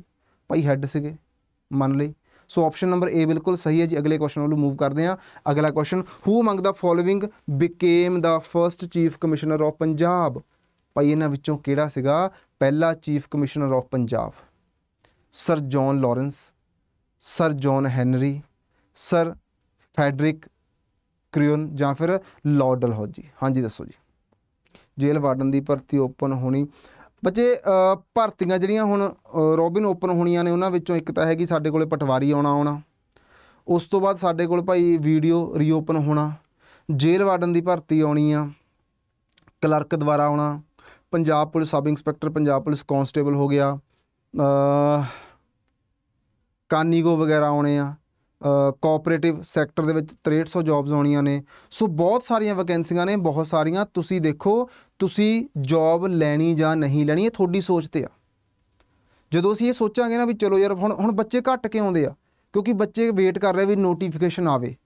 ਤੇ ਤੁਸੀਂ ਆਪ ਦਿਲ ਤੇ ਹੱਥ ਰੱਖ ਕੇ ਦੱਸਿਓ ਜਿਹੜੇ ਹੁਣ ਕਲਾਸਾਂ ਲਾਉਨੇ ਹੋ, ਚਾਹੇ ਰਿਕਾਰਡਡ ਦੇਖਦੇ ਹੋ, ਚਾਹੇ ਲਾਈਵ ਦੇਖਦੇ ਹੋ, ਜਿਹੜਾ ਬੱਚਾ ਅੱਜ ਤੋਂ ਤੁਹਾਡੇ ਅੱਜ ਪੜਨ ਤੋਂ ਬਾਅਦ ਮਹੀਨਾ ਬਾਅਦ ਕਲਾਸਾਂ ਜੁਆਇਨ ਕਰਨੀਆਂ ਸ਼ੁਰੂ ਕਰੂਗਾ, ਕੀ ਤੁਸੀਂ ਉਹਨੂੰ ਆਪਣੇ ਨਾਲ ਰਲਣ ਦਵੋਗੇ? ਤੁਸੀਂ ਜਮਾ ਨਹੀਂ ਰਲਣ ਦਿੰਦੇ। ਜਿੰਨਾ ਤੁਸੀਂ ਮਹੀਨੇ 'ਚ ਐਕਸਟਰਾ ਪੜ ਲਿਆ, ਕਿੱਥੋਂ ਬੰਦਾ ਉਹ ਰਲ ਲੂ ਤੁਹਾਡੇ ਨਾਲ? ਤੇ ਜਦੋਂ ਪੇਪਰ ਆ ਗਿਆ, ਤੇ ਤੁਸੀਂ ਪੇਪਰ 'ਚ ਵੀ ਫਿਰ ਉਹਨੂੰ ਰਲਣ ਨਹੀਂ ਦੇਣਾ। ਯੈਸ ਔਰ ਨੋ ਦੱਸੋ। ਰਲਣ ਨਹੀਂ ਨਾ ਦਿੰਦੇ। ਬਸ ਪੜ੍ਹਦੇ ਰਹੋ। ਤੁਸੀਂ ਆਪਦੀ ਕਲਾਸ ਮਿਸ ਨਹੀਂ ਕਰਨੀ, ਜਦੋਂ ਮਰਜ਼ੀ ਪੇਪਰ ਆਵੇ, ਆਉਣ ਵਾਲੇ 2 ਮਹੀਨਿਆਂ ਚ 4 ਮਹੀਨਿਆਂ ਵਿੱਚ ਲੇਕਿਨ ਇੱਕ ਗੱਲ ਯਾਦ ਰੱਖਿਓ, ਜਦੋਂ ਵੀ ਆ ਗਿਆ, ਤੁਹਾਡੀ ਸਿਲੈਕਸ਼ਨ ਹੋਣੀ ਚਾਹੀਦੀ ਆ। ਤੁਸੀਂ ਪੇਪਰ ਲਈ ਨਹੀਂ ਪੜ੍ਹ ਰਹੇ, ਤੁਸੀਂ ਸਿਲੈਕਸ਼ਨ ਲਈ ਪੜ੍ਹ ਰਹੇ ਹੋ। ਇਸ ਕਰਕੇ ਨਹੀਂ ਪੜ੍ਹ ਰਹੇ ਕਿ ਪੇਪਰ ਆਵੇ ਤੇ ਦੇ ਦਈਏ ਪੇਪਰ, ਨਹੀਂ। ਤੁਸੀਂ ਪੜ੍ਹ ਰਹੇ ਹੋ ਸਿਲੈਕਸ਼ਨ ਦੇ ਲਈ, ਸੋ ਸਿਲੈਕਸ਼ਨ ਦੇ ਲਈ ਹੀ ਪੜ੍ਹਨਾ ਆ ਜੀ। ਯੈਸ ਔਰ ਨੋ ਦੱਸੋ? ਸਿਲੈਕਸ਼ਨ ਲਈ ਪੜ੍ਹ ਰਹੇ ਹੋ ਕਿ ਪੇਪਰ ਲਈ ਸਿਰਫ? ਯੈਸ ਔਰ ਨੋ ਦੱਸੋ ਜਲਦੀ ਜਲਦੀ ਠੀਕ ਹੈ? ਥੋੜੀ ਜਿਹੀ ਆਪਾਂ ਡਿਟੇਲ ਕਰਦੇ ਹਾਂ ਆ ਰਹੇ ਸਾਡੇ ਕੋਲੇ ਅ, ਜੌਨ ਲਾਰੈਂਸ ਦੇਖੋ ਜੀ 1849 ਦੇ ਵਿੱਚ ਅੰਗਰੇਜ਼ਾਂ ਨੇ ਪੰਜਾਬ ਤੇ ਕਬਜ਼ਾ ਕੀਤਾ ਤੇ ਉਹਨਾਂ ਨੇ ਨਾ ਪੰਜਾਬ ਨੂੰ ਚਲਾਉਣ ਦੇ ਲਈ ਤਿੰਨ ਅਲੱਗ-ਅਲੱਗ ਤਰੀਕਿਆਂ ਨਾਲ ਸਾਂਭਿਆ ਸੀਗਾ। ਹੁਣ ਉਹ ਕਿਵੇਂ ਸਾਂਭਿਆ ਗਿਆ ਸੀਗਾ? ਸਭ ਤੋਂ ਪਹਿਲਾਂ ਤਾਂ ਉਹਨਾਂ ਨੇ ਕੀ ਕੀਤਾ? 1849 ਤੋਂ ਲੈ ਕੇ 1853 ਤੱਕ ਤਿੰਨ ਮੈਂਬਰੀ ਕਮੇਟੀ ਬਣਾਈ। ਉਹਨੇ ਪੰਜਾਬ ਸਾਂਭਿਆ। ਮੁੜ ਕੇ ਫਿਰ ਚੀਫ ਕਮਿਸ਼ਨਰ ਦੀ ਪੋਸਟ ਆ ਗਈ ਸੀਗੀ ਤੇ ਉਸ ਤੋਂ ਬਾਅਦ ਸਾਡੇ ਕੋਲੇ ਲੈਫਟੀਨੈਂਟ ਗਵਰਨਰ ਆ ਗਿਆ ਸੀਗਾ। ਸੋ ਆਪਾਂ ਕੀ ਪੜ੍ਹ ਰਹੇ ਹਾਂ sir? Chief commissioner. Chief commissioner ਪੜ੍ਹਿਆ ਸੀਗਾ। ਸੋ ਚੀਫ ਕਮਿਸ਼ਨਰ ਦੀ ਜਿਹੜੀ ਪੋਸਟ ਆ, ਉਹ 1853 ਤੋਂ ਲੈ ਕੇ 1859 ਤੱਕ ਚੱਲੀ ਸੀਗੀ। ਇਹ ਵੀ ਯਾਦ ਰੱਖਿਓ ਜੀ। ਠੀਕ ਹੈ ਜੀ? ਚਲੋ, ਅਗਲੇ ਕੁਐਸਚਨ ਤੇ ਆਪਾਂ ਮੂਵ ਕਰਦੇ ਹਾਂ। ਅਗਲਾ ਕੁਐਸਚਨ ਸਾਡੇ ਕੋਲ ਆ ਚੁੱਕਾ ਜੀ। ਪੜੋ ਇਸ ਕੁਐਸਚਨ ਨੂੰ, ਕੀ ਕਹਿੰਦਾ which of the following incident ਇਹਨਾਂ ਵਿੱਚੋਂ ਕਹਿੰਦੇ ਕਿਹੜਾ ਇਦਾਂ ਦਾ ਇਨਸੀਡੈਂਟ ਆ, ਜਿਹਨੇ ਕੀ started the violence in Punjab before Jallianwala Bagh massacre ਜਿਹੜਾ 1919 ਦੇ ਵਿੱਚ ਪੰਜਾਬ ਦੇ ਵਿੱਚ ਜਲਿਆਂਵਾਲੇ ਬਾਗ ਦੀ ਜਿਹੜੀ ਘਟਨਾ ਹੋਈ ਸੀਗੀ, ਉਦੋਂ ਪਹਿਲਾਂ ਵੀ ਕਹਿੰਦੇ ਪੰਜਾਬ ਦੇ ਵਿੱਚ ਥੋੜੀ ਬਹੁਤ ਵਾਇਲੈਂਸ ਹੋ ਚੁੱਕੀ ਸੀਗੀ, ਉਹਦਾ ਕਾਰਨ ਕੀ ਸੀਗਾ ਉਸ ਵਾਇਲੈਂਸ ਦਾ? ਉਸ ਵਾਇਲੈਂਸ ਦਾ ਕਾਰਨ ਕੀ ਸੀਗਾ ਜੀ? ਦੇਖੋ, ਕੋਈ ਵੀ ਸਬਜੈਕਟ ਕਮਜ਼ੋਰ ਲੱਗਦਾ ਨਾ ਬੱਚੇ, ਤੁਹਾਨੂੰ ਲੱਗਦਾ ਸਰ ਮੇਰਾ ਫਲਾਨਾ ਸਬਜੈਕਟ ਕਮਜ਼ੋਰ ਆ, ਉਹਨੂੰ ਸਟਰੋਂਗ ਕਰੋ। ਸਟਰੋਂਗ ਕਰਨ ਦੇ ਲਈ ਪੜ੍ਹਨਾ ਪੈਣਾ। ਉਹਦੇ ਲਈ ਜੇ ਤੁਹਾਨੂੰ ਲੱਗਦਾ ਕਿ ਤੁਹਾਡੇ ਕੋਈ ਲੋਕਲ ਟੀਚਰ ਆ ਜਾਂ ਕੋਈ ਕਿਤੇੋਂ ਵੀ ਪੜ੍ਹਨਾ ਪਵੇ, ਕਿਤੇ, ਕਿਉਂਕਿ ਦੇਖੋ ਆਬਵੀਅਸ ਆ, ਤੁਹਾਨੂੰ ਪੇਮੈਂਟ ਕਰਨੀ ਪਊਗੀ। ਹੈ ਨਾ? ਕਿਤੇ ਲੋਕਲ ਪੜ੍ਹ ਲਓ ਆਫਲਾਈਨ ਆਨਲਾਈਨ ਨਹੀਂ ਤਾਂ ਸਾਡੇ ਕੋਲ ਅੰਕੁਸ਼ ਸਰ ਬਹੁਤ ਵਧੀਆ ਮੈਥ ਕਰਾਉਂਦੇ ਬਿਲਕੁਲ ਜ਼ੀਰੋ ਤੋਂ ਚੱਕ ਲੈਂਦੇ ਮੈਥ ਸੋ ਉਹਨਾਂ ਦੇ ਪੇਡ ਕੋਰਸਸ ਆ। ਜਾਂ ਆਪਣੇ ਪੰਜਾਬ ਦਾ ਮਹਾਬੈਕ ਉੱਚ ਐਡਮਿਸ਼ਨ ਲੈ ਲਓ। ਸੋ ਜੇ ਤਾਂ ਸਿਲੈਕਸ਼ਨ ਲੈਣੀ ਸ਼ੁਰੂ, ਫਿਰ ਤਾਂ ਇਹ ਭੁੱਲਣਾ ਪੈਣਾ ਵੀ ਇੱਕ ਸਬਜੈਕਟ ਵੀਕ ਆ ਤੇ ਸਰ ਜੂਗਾ ਇਹਦਾ ਨਹੀਂ। ਫਿਰ ਤਾਂ ਆਪਦੀ ਚੁੱਪ ਕਰਕੇ ਐਡਮਿਸ਼ਨ ਲਓ ਪੜੋ ਤੇ ਨੌਕਰੀ ਲੱਗ ਗਏ, ਸਾਰੀ ਉਮਰ ਦੀ ਰੋਟੀ ਦਾ ਅਰੇਂਜਮੈਂਟ ਹੋ ਜਾਣਾ। ਬਸ ਇੱਕ ਛੋਟੀ ਜੀ ਗੱਲ ਰੋਕੀ ਬੈਠੀ ਆ ਵੀ ਚਲੋ ਕੋਈ ਨਹੀਂ ਦੇਖ ਲਾਂਗੇ, ਕਰ ਲਾਂਗੇ। ਇੱਕ ਅੱਧਾ ਔਖਾ ਦਾ ਛੱਡ ਦਾਂਗੇ ਸਬਜੈਕਟ ਆਹੀ ਗੱਲ ਰੋਕੀ ਬੈਠੀ ਆ, ਇਹੀ ਸਿਲੈਕਸ਼ਨ ਤੋਂ ਰੋਕੀ ਬੈਠੀ ਆ। ਸੋ ਇਹੀ ਅਸੀਂ ਠੀਕ ਕਰਨਾ ਜੀ। ਆਨਸਰ ਕੀ ਸਾਡੇ ਕੋਲ? Arrest of the doctor Saifuddin Kitchlew and doctor Satyapal. ਇਹ ਦੋ ਬੰਦੇ ਗ੍ਰਿਫਤਾਰ ਕਰ ਲਏ ਸੀਗੇ। ਇਹ ਗ੍ਰਿਫਤਾਰ ਕਿਹੜੇ ਐਕਟ ਦੇ ਅੰਡਰ ਕੀਤੇ ਗਏ ਸੀਗੇ? ਦੱਸੋ ਜੀ। ਕਿਹੜੇ ਐਕਟ ਦੇ ਅੰਡਰ ਸਰ, ਰੌਲਟ ਐਕਟ ਦੇ ਅੰਡਰ ਰੌਲਟ ਐਕਟ ਆਇਆ ਸੀਗਾ। ਸੋ ਉਸ ਐਕਟ ਦੇ ਅੰਡਰ ਇਹਨਾਂ ਨੂੰ ਗ੍ਰਿਫਤਾਰ ਕੀਤਾ ਗਿਆ ਅਤੇ ਲੋਕਾਂ ਨੇ ਫਿਰ ਉਹਦਾ ਵਿਰੋਧ ਕੀਤਾ ਦੇਖੋ ਜੀ। ਤੇ ਲੋਕੀ ਜਲਿਆਂਵਾਲੇ ਬਾਗ ਦੇ ਵਿੱਚ ਇਕੱਠੇ ਹੋਏ ਸੀਗੇ ਵੀ ਉਹਦਾ ਵਿਰੋਧ ਕਰੀਏ। ਉੱਥੇ ਅੰਗਰੇਜ਼ ਬੰਦੂਕਾਂ ਲੈ ਕੇ ਪਹੁੰਚ ਗਏ ਤੇ ਉੱਥੇ ਬਹੁਤ ਸਾਰੇ ਲੋਕਾਂ ਨੂੰ ਸ਼ਹੀਦ ਕੀਤਾ ਗਿਆ ਸੀਗਾ। ਇੱਥੇ ਹੀ ਉਦਮ ਸਿੰਘ ਨੇ ਫਿਰ ਸਹੁੰ ਚੱਕੀ ਸੀ ਕਿ ਗੋਰਿਆ ਤੈਨੂੰ ਦੱਸੂਗਾ ਜਾ ਕੇ। ਤੇ ਗੋਰੇ ਨੂੰ ਫਿਰ ਜਵਾਬ ਦਿੱਤਾ ਸੀਗਾ ਉਹਦੇ ਹੀ ਦੇਸ਼ 'ਚ ਜਾ ਕੇ ਅਗਲਾ ਕੁਐਸਚਨ ਆਪਣੇ ਕੋਲੇ। ਮੁਹੰਮਦ ਗੌਰੀ ਜਿਹੜਾ ਹੈਗਾ ਉਹਨੇ ਕੰਕਰ ਕੀਤਾ ਸੀਗਾ ਪੰਜਾਬ ਨੂੰ ਐਂਡ ਲਾਹੌਰ ਨੂੰ। ਕਦੋਂ? ਹਾਂਜੀ, ਦੱਸੋ, ਸ਼ਾਬਾਸ਼। ਹਾਂਜੀ ਰੌਲਟ ਐਕਟ 1919 ਜਲਿਆਂਵਾਲਾ ਬਾਗ 13 ਅਪ੍ਰੈਲ 1919 ਸ਼ਾਬਾਸ਼।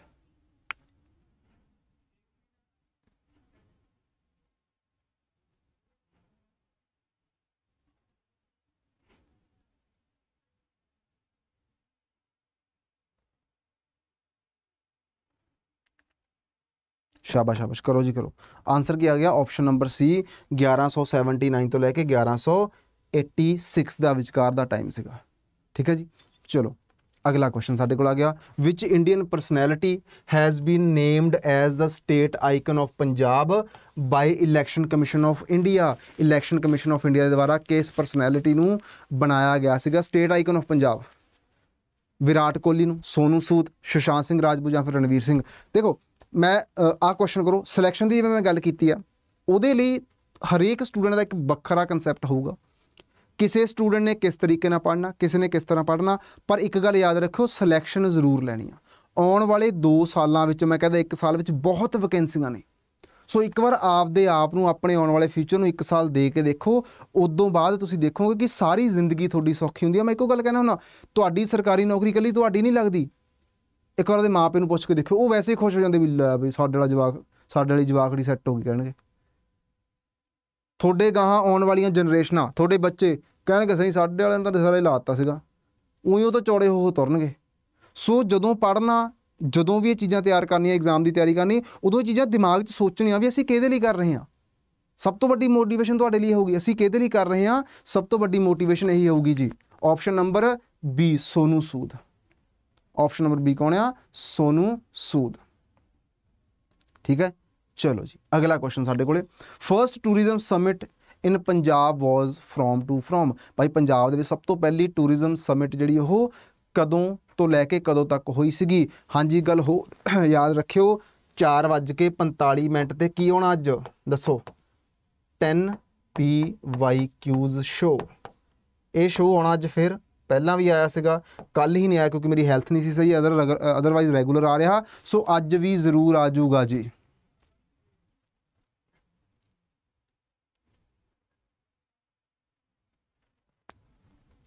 ਸ਼ਾਬਾਸ਼। ਕਰੋ ਜੀ, ਇਸ ਕੁਐਸਚਨ ਦਾ ਆਨਸਰ ਕਰੋ। Option number B is the correct answer 11 ਸਤੰਬਰ ਟੂ 13 ਸਤੰਬਰ। ਦੇਖੋ, ਬੱਚੇ ਕਈ ਵਾਰ ਹੁਣ ਜਿਵੇਂ ਇੱਕ ਮੈਸੇਜ ਆ ਸੀਗਾ ਸਰ ਮੈਨੂੰ ਟਾਈਮ ਹੋ ਗਿਆ, ਕਾਫੀ ਜ਼ਿਆਦਾ ਸਿਲੈਕਸ਼ਨ ਨਹੀਂ ਹੋ ਰਹੀ। ਮੈਂ ਇੱਕ ਸਵਾਲ ਪੁੱਛੂੰਗਾ, ਕੀ ਤੁਸੀਂ ਕਿਸ ਤੋਂ ਗਾਈਡੈਂਸ ਲਈ ਆ? ਇੱਕ ਸਾਲ ਤਾਂ ਹੋ ਗਿਆ, ਕਿਸੇ ਤੋਂ ਗਾਈਡੈਂਸ ਲਈ ਆ? ਨਹੀਂ ਸਰ ਪੜ੍ਹੇ ਕਿੱਦਾਂ? ਬਹੁ ਹੀ ਪੜ੍ਹ ਲਿਆ ਜੀ। ਬੱਚੇ, ਇੱਕ ਖਿਡਾਰੀ ਇੱਕ ਖਿਡਾਰੀ ਆਪਦੇ ਨਾਲ ਇੱਕ ਕੋਚ ਰੱਖਦਾ ਹੁੰਦਾ ਤੇ ਉਹਨੇ ਉਹ ਕੋਚ ਜਿੰਨਾ ਟਾਈਮ ਖੇਡਣਾ ਉਹਨਾਂ ਟਾਈਮ ਰੱਖਣਾ ਹੁੰਦਾ। ਕਿਉਂ? ਅੱਜ ਵੀ ਇੰਡੀਅਨ ਕ੍ਰਿਕਟ ਟੀਮ ਕੋਲੇ ਕੋਚ ਆ, ਚਾਹੇ ਉਹ ਏਡੇ ਏਡੇ ਵੱਡੇ ਪਲੇਅਰ ਆ। ਵਿਰਾਟ ਕੋਹਲੀ ਹੋ ਗਿਆ, ਸ਼ੁਭਮਨ ਗਿੱਲ ਆਪਣੇ ਨਾਲ ਕਿੱਡਾ ਤਕੜਾ, ਠੀਕ ਹੈ? ਜਿੱਡੇ ਮਰਜ਼ੀ ਤਕੜੇ ਪਲੇਅਰ ਆ, ਉਹਨਾਂ ਕੋਲ ਇੱਕ ਟੀਮ ਦਾ ਕੋਚ ਆ, ਇੱਕ ਆਪ ਦਾ ਕੋਚ ਹੁੰਦਾ, ਜਿਹੜਾ ਹੁਣ ਵੀ ਉਹਨਾਂ ਨੂੰ ਗਾਈਡ ਕਰਦਾ ਆ। ਸੋ ਇਸ ਤਰੀਕੇ ਨਾਲ ਤੁਸੀਂ ਵੀ ਤੁਹਾਡੇ ਕੋਲ ਵੀ ਇੱਕ ਗਾਈਡ ਕਰਨ ਨੂੰ ਬੰਦਾ ਹੋਣਾ ਬਹੁਤ ਜ਼ਰੂਰੀ ਆ, ਜਿਹੜਾ ਤੁਹਾਨੂੰ ਸਮਝਾਵੇ ਕਿਵੇਂ ਤਿਆਰੀ ਕਰਨੀ ਆ ਮੈਥ ਆਪਦਾ ਸਟਰੋਂਗ ਕਿਵੇਂ ਕਰਨਾ ਰੀਜ਼ਨਿੰਗ ਸਟਰੋਂਗ ਕਿਵੇਂ ਕਰਨੀ ਆ, ਪੰਜਾਬ ਜੀਕੇ ਸਟਰੋਂਗ ਕਿਵੇਂ ਕਰਨੀ ਆ ਓਵਰਆਲ ਤਿਆਰੀ ਕਿਵੇਂ ਕਰਨੀ ਆ। ਨਹੀਂ, ਸਾਡੇ ਕੋਲ ਉਹ ਚੀਜ਼ਾਂ ਹੀ ਨਹੀਂ ਗਿਆ। ਅਸੀਂ ਵੈਸੇ ਘੋੜੇ ਭਜਾ ਜਾਂਦੇ ਠੀਕ ਆ ਜੀ, ਕੋਈ ਚੱਕਰ ਨਹੀਂ। ਬਿਨਾਂ ਤਿਆਰੀ ਤੋਂ ਬਿ- ਕਈ ਕਈ ਆਪਾਂ ਦੇਖਿਆ ਨਾ ਕਈ ਪਰਿਵਾਰਾਂ 'ਚ ਮੰਨ ਲਓ ਮਾਪੇ ਲੱਗੇ ਹੋਏ ਸਰਕਾਰੀ ਨੌਕਰੀ, ਉਹਨਾਂ ਦੇ ਬੱਚੇ ਬਹੁਤ ਛੇਤੀ ਲੱਗਦੇ ਆ। ਸੋ ਕਿਵੇਂ? ਕਿਉਂਕਿ ਉਹਨਾਂ ਦੇ ਬੱਚਿਆਂ ਨੂੰ ਉਹਨਾਂ ਦੇ ਘਰ ਦੇ ਗਾਈਡ ਕਰਦੇ ਆ ਕਿ ਬੱਚੇ ਇਦਾਂ ਕਰੋ ਇਦਾਂ ਕਰੋ, ਬੜੀ ਛੇਤੀ ਲੱਗਦੇ ਆ। ਸਾਨੂੰ ਲੱਗਦਾ ਵੀ ਲੈ ਸਾਰੂ ਉਹੀ ਕਹਿ ਦਿੰਦਾ ਵੀ ਗਾਈਡ ਗੁੱਡ ਦੀ ਗੜੀ ਚੱਕਰ ਆਪਾਂ ਐ ਕਰ ਦੇਣਾ, ਉਹ ਕਰਨਾ ਬੱਚੇ ਨਹੀਂ ਇਦਾਂ ਹੁੰਦਾ। ਸੋ ਜ਼ਰੂਰੀ ਹੁੰਦੀਆਂ ਨੇ ਉਹ ਚੀਜ਼ਾਂ। ਆਨਸਰ ਹੈਗਾ ਸਾਡੇ ਕੋਲੇ ਵਾਰਾਣਸੀ ਆਪਸ਼ਨ ਨੰਬਰ ਬੀ ਇਸ ਦਾ ਕਰੈਕਟ ਆਨਸਰ ਆ ਲਓ ਜੀ। ਸੰਤ ਕਬੀਰ ਜੀ ਉਹਨਾਂ ਦੇ ਬਾਰੇ, ਉਹਨਾਂ ਦਾ ਜਨਮ 1440 ਵਾਰਾਣਸੀ, ਭਾਰਤ। ਠੀਕ ਹੈ ਜੀ? ਤੇ ਇਹ ਜਿਹੜਾ ਹੈਗਾ ਆ, ਅਗਲਾ question where was Shah Hussain born ਭਾਈ ਸ਼ਾਹ ਹੁਸੈਨ ਜੀ ਦਾ ਜਨਮ ਕਿੱਥੇ ਹੋਇਆ? ਹੈ ਵਾਰਾਣਸੀ, ਅੰਮ੍ਰਿਤਸਰ ਸਾਹਿਬ, ਲਾਹੌਰ ਜਾਂ ਫਿਰ ਮੁਲਤਾਨ? ਇੱਕ ਮਿੰਟ ਬੱਚੇ। ਹੈਲੋ ਇੱਕ ਮਿੰਟ ਮਾਈਕ ਬੰਦ ਕਰ ਲੈਂਦਾ। ਇੱਕ ਮਿੰਟ ਹੋਲਡ ਰੱਖਿਓ ਮਾੜਾ ਜਿਹਾ। ਇਹਦਾ ਆਨਸਰ ਕਰਾਉਣਾ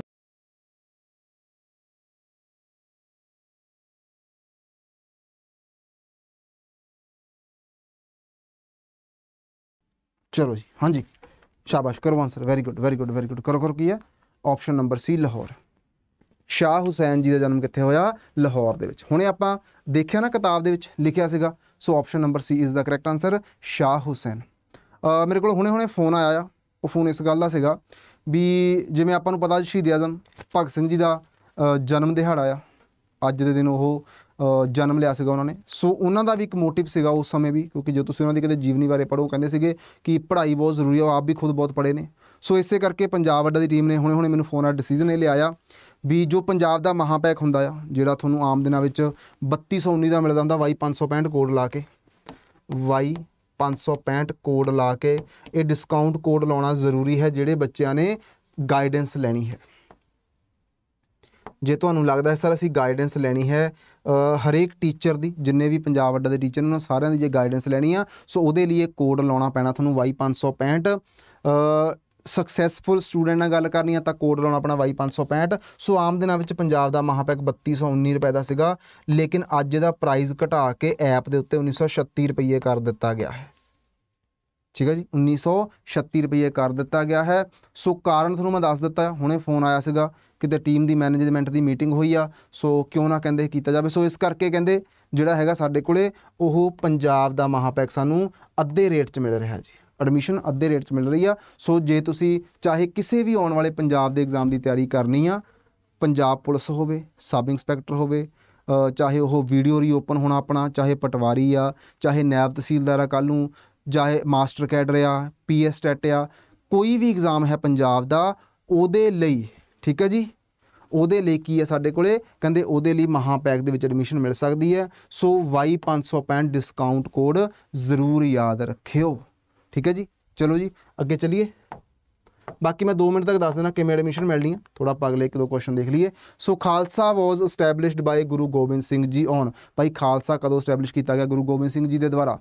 14 ਅਪ੍ਰੈਲ 1699 ਨੂੰ 30 ਮਾਰਚ 1699 ਨੂੰ ਜਾਂ ਫਿਰ 3 ਨਵੰਬਰ 1689 ਨੂੰ ਜਾਂ ਫਿਰ ਇਹਨਾਂ ਵਿੱਚੋਂ ਕੋਈ ਵੀ ਨਹੀਂ option number B is the correct answer ਬੱਚੇ, ਪੰਜਾਬ ਦੇ ਮਹਾਪੈਕ ਦੇ ਵਿੱਚ ਪੀਸੀਐਸ ਨਹੀਂ ਹੈ।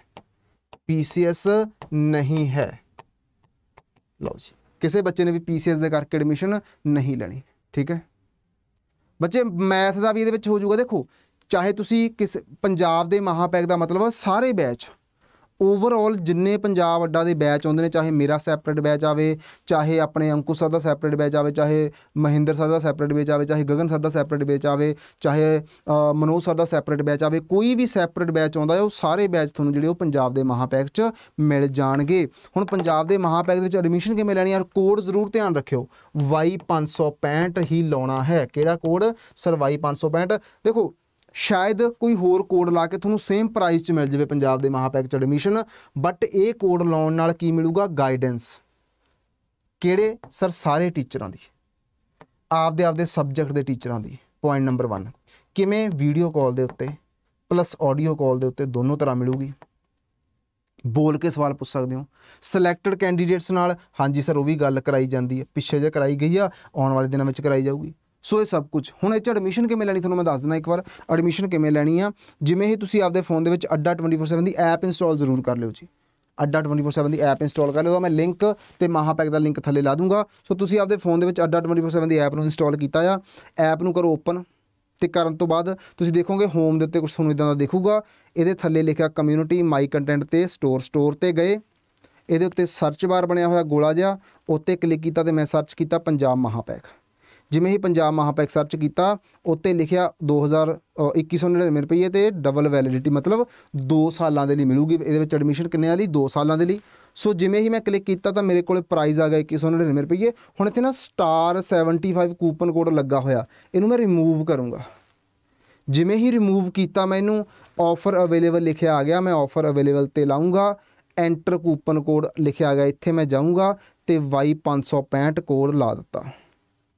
ਕਿਹੜਾ Y565 ਧਿਆਨ ਨਾਲ ਅਪਲਾਈ ਕਰਤਾ। ਹੁਣ ਮੈਨੂੰ ਕੋਇਨਸ ਮਿਲ ਚੁੱਕੇ ਨੇ। ਮੈਂ ਕੋਇਨਸ ਦੇ ਉੱਤੇ ਹਰਾ ਜਿਹਾ ਟਿਕ ਲਾਤਾ ਤੇ 1935 ਰੁਪਏ ਰਹਿ ਗਏ ਨੇ। ਸੋ ਇਹ ਪ੍ਰੋਸੈਸ ਆ ਐਡਮਿਸ਼ਨ ਲੈਣ ਦਾ। ਗਲਤੀ ਬਿਲਕੁਲ ਵੀ ਨਹੀਂ ਕਰਨੀ। ਬਾਰ-ਬਾਰ ਮੈਂ ਇਹ ਗੱਲ ਕਹਿਣਾ ਆ। ਮੈਂ ਪਹਿਲਾਂ ਵੀ ਦਿਖਾਤਾ ਐਪ ਦੇ ਉੱਤੇ ਵੀ ਸ਼ਾਇਦ ਤੁਹਾਨੂੰ ਵੈਸੇ ਵੀ 2100 ਦਾ ਮਿਲ ਜਵੇ। ਬਟ ਜੇ ਤੁਸੀਂ Y565 ਲਾਓਗੇ ਤਾਂ ਨਾਲ ਗਾਈਡੈਂਸ ਵਗੈਰਾ, ਇਹ ਐਕਸਟਰਾ ਚੀਜ਼ਾਂ ਮਿਲਣਗੀਆਂ ਜੋ ਕਿ ਬਾਕੀ ਬੱਚੇ ਜੇ ਤੋਂ ਵਾਂਝੇ ਰਹਿ ਜਾਣਗੇ। ਸਮਝੇ ਗੱਲ ਨੂੰ? ਸੋ ਕਿਹੜਾ ਕੋਡ ਲਾਉਣਾ ਸਰ Y565 ਲਓ ਜੀ, ਇਹ ਸੀਗੀ ਕਲਾਸ ਤੇ ਹੁਣ ਆਪਾਂ ਲੈ ਕੇ ਆਉਨੇ ਆ 10 Y PYQ show within 1 minute 1 minute 'ਚ ਉਹ ਵੀ ਸ਼ੋ ਆ ਰਿਹਾ ਜੀ।